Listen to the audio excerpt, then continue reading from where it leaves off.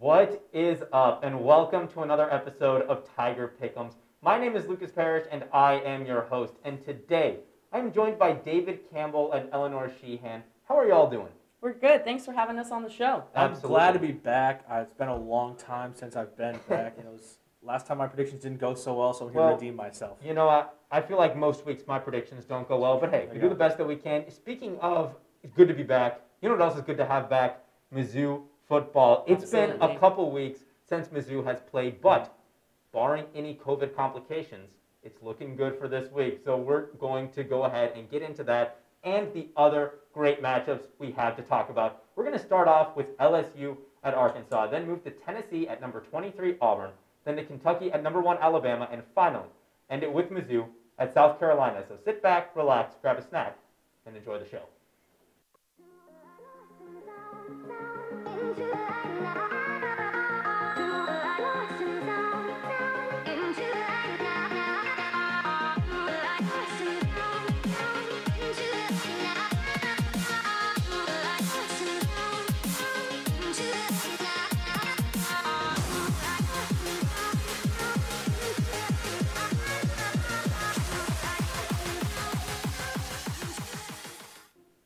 LSU Tigers head to Fayette, Arkansas this week to play the Razorbacks. Senior quarterback Felipe Franks is fourth in the SEC in passing yards this year with 1,678 and 16 touchdown passes.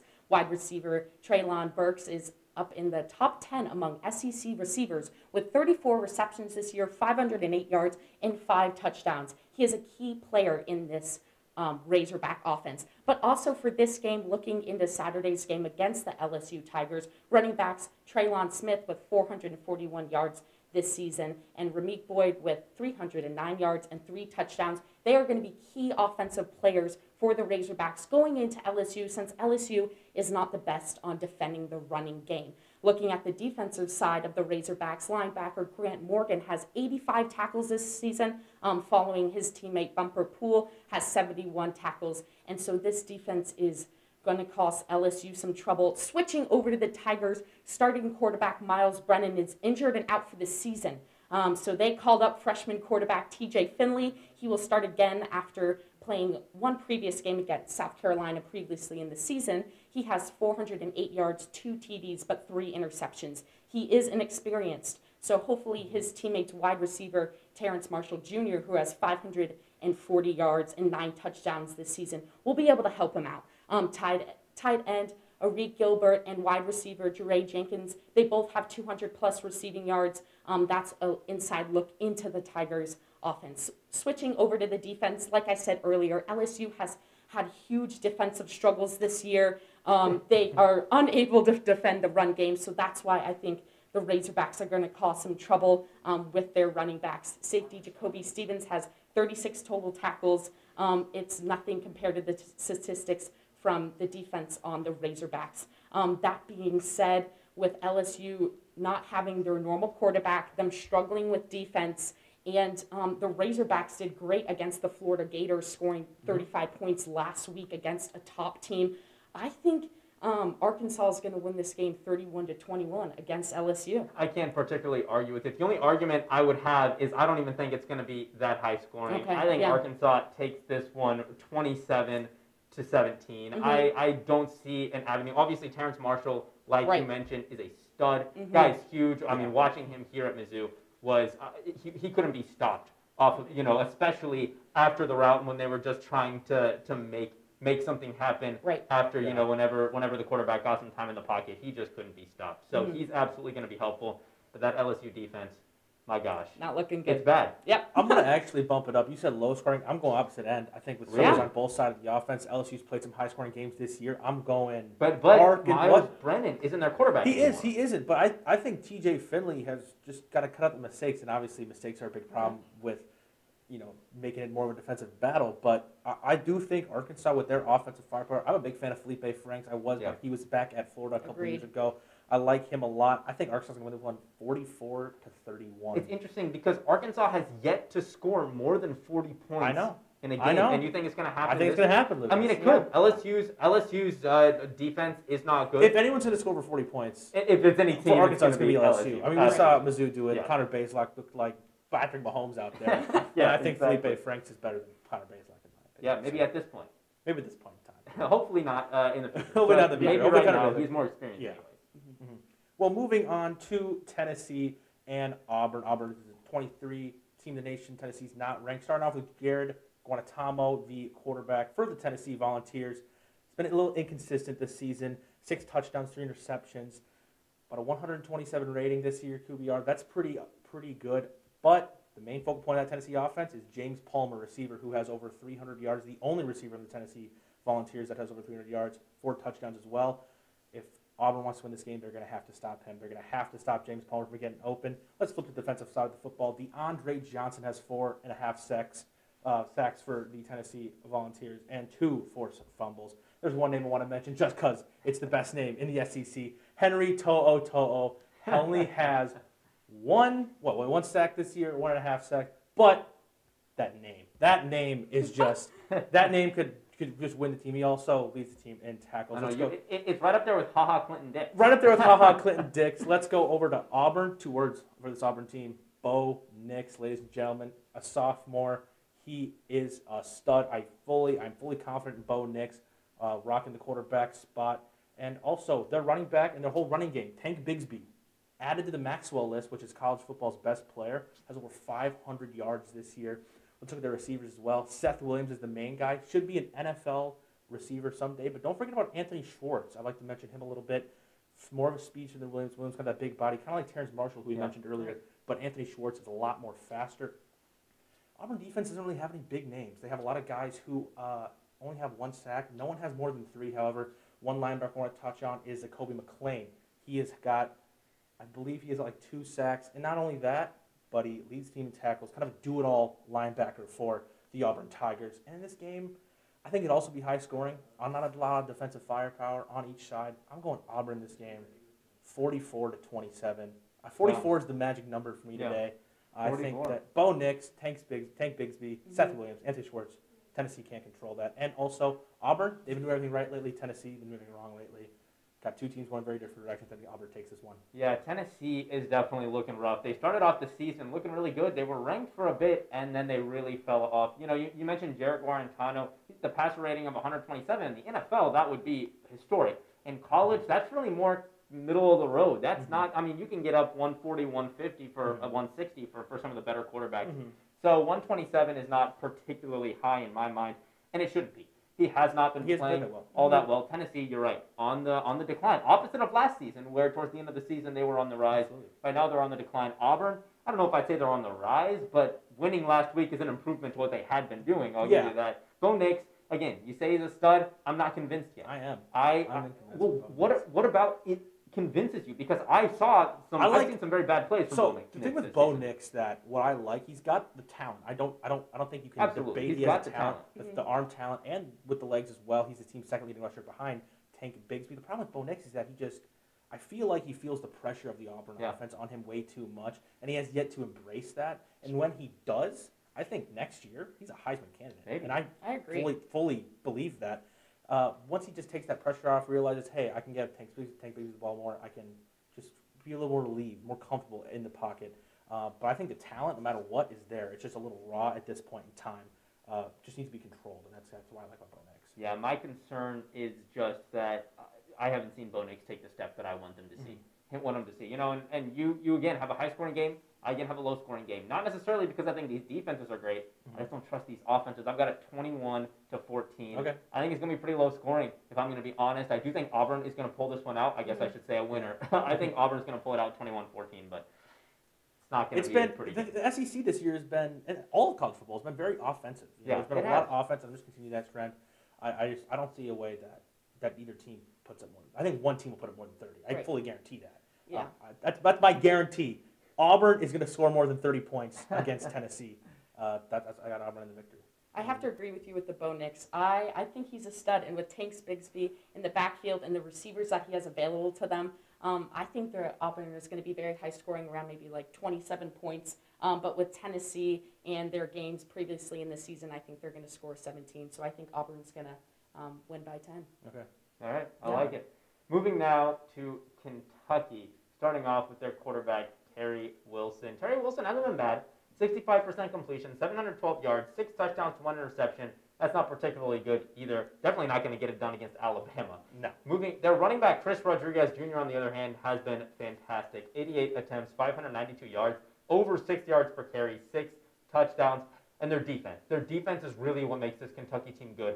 21.3 points allowed per game, 362.7 yards allowed per game. Both excellent marks, especially in an SEC. In an SEC that does not have a dominant defense this season. Their key to the game: stop Alabama's offense. I mean, Yeah. Mac Jones has just been insane. Moving now to Alabama, Mac Jones, 78.5% completion, 2196 yards, 16 touchdowns to two interceptions. He's he's in the Heisman conversation. He's in the first round draft conversation. Mac Jones has been insane this year.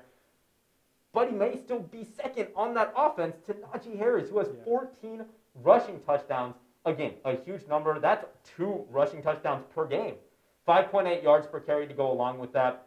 Wide receiver Devonta Smith, obviously wide receiver Waddle, Jaylen Waddle is out for the season. He'll be a high pick in the draft. Devonta Smith, on the other hand, another high pick in the draft. 56 receptions, 759 yards, and eight touchdowns. He's been good, and their defense has really stepped it up. They started off the season not looking great. Recently, they have in fact gotten a lot better. The key to the game: just play good offense. Don't let Kentucky's strength is their defense. You Mhm. have to, you know, obviously play to your strength, play to your opponent's weakness, and try and make your opponent's strength a weakness. Playing good offense will do that. I, I mean, I think this is going to go Alabama. I, I don't even think it's going to be particularly close. I've got this one. You, you had 44 as your lucky number. We're going 44 to 27. All right. Yeah, I got uh, a little more than that. Um, Kentucky's not a good team. I don't know. I don't think Ter- Terry Wilson's a good quarterback either. He had, the, I think the Kentucky uh, offense against Mizzou had like 39 passing yards, or Yeah. something very Yeah. small like Yeah. that. Mhm. And 13 of those was the backup quarterback coming in for a play. Uh, I think this Kentucky offense is needs a lot of work. I like Rodriguez. Don't get me wrong. I think that he is a solid back, but I think Alabama's going to win this game 52 to zero. That is my hot Wow. take. If I if we're doing hot takes, I don't know if we decided to do hot takes or not. Bama is going to shut out Kentucky That is- 52 to zero. You heard it here first. And I'm just when it happens, just feel free to. Maybe David Campbell was right. So I have to All go in the middle between you guys. Um, I do believe that Alabama, for no doubt, is going to slaughter them. I'm going to go 35 to 10. So nothing as quite big as David, um, but I do think that's going to be a big Mhm. scoring gap between these Yeah, two teams. Absolutely. Alabama, I think, is. I mean, they're the number one team in the Yeah. in the No doubt. in and the don't, don't country get me for a wrong. reason. Losing Waddle hurts, Absolutely. but they don't. They don't need They him. don't need him. They don't No. need They him. don't need him. They still have Devonta Smith as a, I mean, a, a very good college wide receiver one, and behind that Yeah. they've got plenty of talent. To They could just run the ball every time. They have an amazing O-line. They Najee have Harris. they have Alex Yeah. Leatherwood as their main Yeah. tackle. Mhm. Run behind him every play. They're Yeah. gonna get six a play. I mean, seriously, Alabama's winning this game Yeah. easily. Moving now to the Mizzou game, South Carolina at Mizzou, and just like always, we haven't done it the past couple weeks because there hasn't been a Mizzou game, but we're getting back on track. We've got a package of South Carolina for you guys to enjoy from staffer Mark Pullen Jr. Enjoy. The Mizzou Tigers head to Columbia East this weekend to face off with the South Carolina Gamecocks. This will be the Gamecocks' first game without coach Will Muschamp, who was fired this past Sunday. Offensive coordinator and QB's coach Mike Bobo will step in as interim coach for South Carolina. They'll also be without their two lockdown defenders in Jaycee Horn and Israel Mukuamu, both of whom have opted out the rest of the season to prepare for the NFL draft. So even with these significant losses, the Gamecocks still have some playmakers on both sides of the ball. The offense is led by quarterback Collin Hill, who is seventh in the SEC in passing yards with just over 1,400 yards, and he's also thrown six touchdowns on the year. Then on the outside, there's always dangerous receiver Shi Smith. Smith is second in SEC in receptions with 53, as well as yards with 596, and also has four touchdowns on the year. Then in the backfield, there's running back Kevin Harris. Harris right now is first in the SEC and ranks eighth in all of college football in rushing yards with 817 yards. He's also second in the SEC and third in all of college football in rushing touchdowns with 13. Now, defensively, the Gamecocks like to get to the quarterback and force turnovers. They are led by linebacker Ernest Jones, who ranks second in the SEC in total tackles with 78. He's also added in a sack, a forced fumble, and a fumble recovery on the season. So while SC will be without their two top DBs, they still have safety Jammie Robinson roaming over the middle. Robinson is ninth in the SEC right now in tackles with 55, and he's fourth in the SEC in pass breakups. While South Carolina is only 2 and 5 on the season, they played each game tough this year. So Saturday looks to be a hard-fought SEC matchup and should turn out to be a great game. For MUTV's 23 Sports, this has been Mark Poland. Mizzou is finally playing again. Hopefully, hopefully we in, in COVID we can never be completely sure. Quarterback Connor Bazelak came in first game looked great, four touchdowns, no interceptions. Since then, I guess he's only played one other game, not looked as great. 69% completion, Nice. 1100. Thank you, thank you, David. 1101 yards, four to one touchdown to interception. Running back Larry Rountree and Tyler Badie, Thunder and Lightning. They've been good. Larry Rountree leading currently in rushing yards. Wide receivers Jalen Knox and Damon Hazelton Jr. lead the team in receiving. Hazelton Jr. has been a little bit disappointing. If I'm going to be honest, Jalen Knox currently leads the team with just over 200 yards. So nothing too terribly fantastic. And the defense has been hit or miss. Absolutely. The key to the game for Mizzou is absolutely stop running back Kevin Harris. Collin Hill, probably not going to be much of a threat. Kevin Harris, on the other hand, has been great. Yeah, agreed. If, if, if Mizzou can stop the running game for South Carolina, I think they have a good chance to take it. And I think they do take it, especially with South Carolina missing their two pro cornerbacks as they both declare for the draft amid South Carolina firing their head coach. I think Mizzou takes this one mm-hmm. 35 to 17.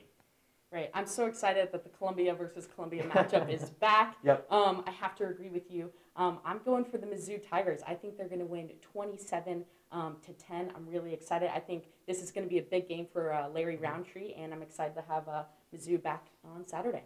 I think that Mizzou is going to win. Yeah. 17 to 16. Wow. Uh, it's gonna be a very close game. Wow. Low scoring. I know, I know we're kind of going back and I forth know. here. Yeah, right? this one I don't think is going to be think low it scoring. smart. Not Yeah. without their two cornerbacks. I think know. Connor Bazelak is going to rip this defense to shreds like he did with LSU. I think there's definitely a possibility of that happening, and I wouldn't, wouldn't surprise me if that does happen. Uh, The problem with Eli Drinkwitz that I saw last week with Florida uh, as a coach, he, he refused to open up the playbook to more Yeah. shot plays like he did against Mizzou. Oh, sorry, LSU. He did those things, and I mean, he was probably maybe just scared about playing Florida. He shouldn't be scared about playing South Carolina anymore because there's no one on that team No. that can stop our weapons. So I think at the end of the day, he's just going to hand the ball off to Larry Rountree a lot, go on a lot, of, take some punts in like fourth and 2s fourth and threes, and Yeah. instead of trying to go for it. And I think it's going to be 17-16 Mizzou. Uh, one one player I want to mention from South Carolina, Shi Smith, receiver. I like him a lot. I've been a big fan of his He's been quite all, good this all season. season. So Really, I, I think he has half of whatever Collin Hill's Yeah. passing yards are. Just Wouldn't- about. wouldn't Like, surprise it's, it's to him. yeah, so I got Mizzou win this one 17-16 just because Yep. I, I think it's going to be a very calm game, much like the Kentucky I one mean- in, in Mizzou. We're biased here on this show, but yeah. I do, we, we do think Mizzou's going to take it. Awesome. Thank you all for joining us this week. I hope you enjoyed the show. Special thanks to my guests today. I always love having you all Yeah, on. course. For Yeah. David Campbell and Eleanor Sheehan, I'm Lucas Parrish. Have a great day.